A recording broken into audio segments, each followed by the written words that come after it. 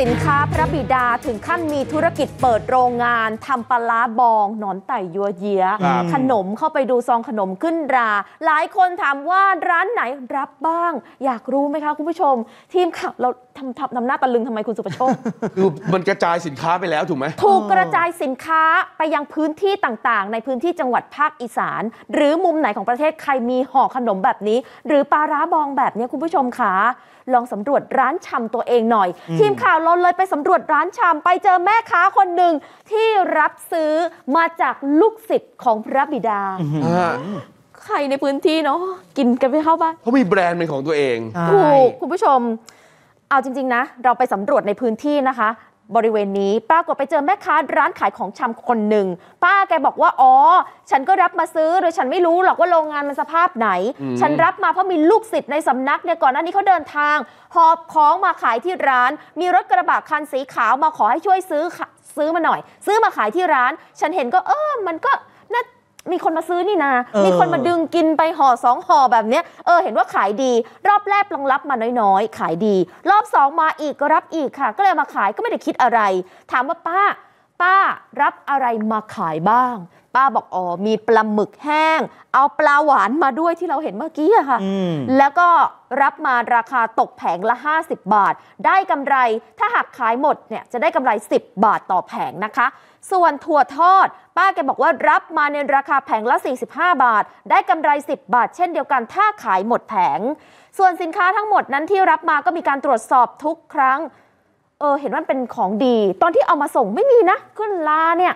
ทุกอย่างดูดีหมดน่ากินก็เลยรับมา แต่พอทีมข่าวไปเปิดภาพเบื้องหลังให้ทางด้านคุณป้าเจ้าของร้านชำนี้ดู ว่าเนี่ยป้ารู้หรือเปล่า โรงงานผลิตโรงงานแพ็คเขาเป็นแบบเนี้ยป้าแกบอกยังไงรู้ไหมคะเฮ้ยตกใจ ตกใจจริง ๆ คนลุกสู้เลย แกบอกว่าขออย่ามาเล่ขายแบบนี้อีกเลย แล้วแกก็จะไม่รับร้านนี้ของพระบิดามาขายแล้วด้วยค่ะ อืม เราพอรู้ที่มาเขาไปเขาบอกไหมว่าอู้ที่มามันเป็นยังไงอะไรอย่างเงี้ยเราไม่ได้บอกไม่ได้บอกเลยใช่ไหมครับบอกน้องเขาอยู่ตรงนี้อืมอืมแผงหนึ่งนี่ตกแผงละเท่าไหร่อะครับตรงนี้สี่สิบกับห้าสิบอืมกำไรเท่าไหร่ตรงนั้นก็สิบบาท วันนี้เขาเข้าไปตรวจเนี่ยบางบางบางอย่างที่เขารับมาเนี่ยมันเขาอาจจะใช้มือไม่ค่อยสะองสะอาดเนี่ยเราเราไม่รู้เลย ไม่ได้รู้ว่าเขาโอ้ย ป้าแกเป็นเปิดร้านขายของชำแบบนี้คุณผู้ชมแกรู้แบบนี้แกช็อกนะคะอืมแกช็อกจริง ๆ บอกว่าหลังจากนี้จะรับซื้อของมาขายในร้านจะตรวจสอบแหล่งผลิตอย่างดี ทีนี้หลายคนอยากรู้กระจายสินค้านอกจากร้านชำตรงบริเวณเนี้ยไปตรงจุดไหนอีกมีไหมเส้นทางที่กระจายสินค้าของพระบิดาเป็นภาคอีสานค่ะ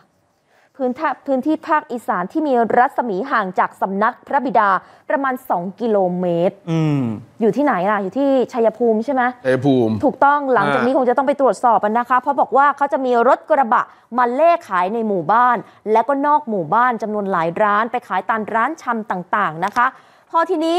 เหล่าลูกศิษย์ค่ะเขาจะเป็นคนขับรถกระบะไปส่งขาย ทีมข่าวก็เลยไปสอบถามหนึ่งในลูกศิษย์ที่นำขนมไปขายตามร้านชำต่างๆ บอกว่าขนมทั้งหมดจะส่งไปขายตามร้านต่างๆ ทั่วอำเภอคอนสาร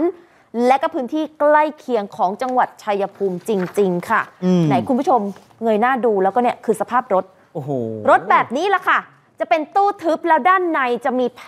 งสินค้าต่างๆ ที่เป็นผลิตภัณฑ์อืมมาจากโรงงานของพระบิดาเออแพ็คเสร็จแล้วแม็กแม็กแม็กแม็กอย่างเงี้ยไปขายตามร้านชำไปกตามระชุจามยชไปนตามพื้นต่างที่ต่างๆนะๆถูกต้องถ้าใครเจอแบบนี้นะคะ ก็ดูกันแล้วคุณผู้ชม มีบางช่วงบางตอนที่ทีมข่าวเราพูดคุยกับคนที่ขับรถคันนี้ด้วย ใช่ค่ะโอเค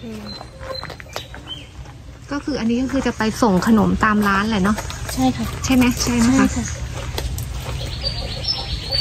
เหมือนเขารับมาปะอาชีพอันนี้อันนี้เขารับมาหรือว่าเขากำลังจะเอาไปส่งอะคะพี่ กำลังเอ่อจะไปส่งค่ะอ๋อมารับเอาของที่นี่คือเรามีเราไปรับของเขามาแล้วเราก็แพ็คแบบเนี้ย แล้วเราก็ไปส่ง ใช่ไหมคะอ๋อค่ะ ขอบคุณครับเขาก็ทำอาชีพนะพูดถึงเนาะเขาก็มีอาชีพของเขาโอ้โห ดูฮะค่ะเขาก็ยอมรับตรงๆเลยแหละใช่ว่าขนของเนี่ยเอาไปกระจายตามร้านชำต่างๆ ที่เป็นลูกค้า ดูออนไลน์ไม่สะดุดบนแอป 34 HD ดูสดกดโหวตทันกระแส ไม่อยากตกเทรนด์กดโหลดเลย